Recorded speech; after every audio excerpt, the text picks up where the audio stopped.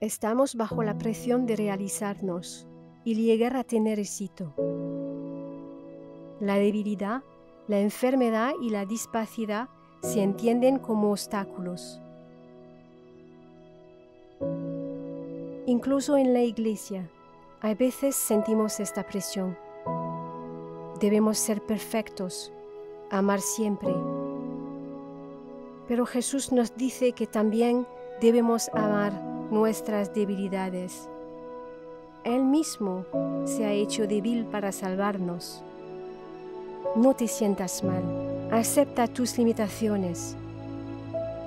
Te ayudará a ser sensible a los demás y darle más espacio a Dios.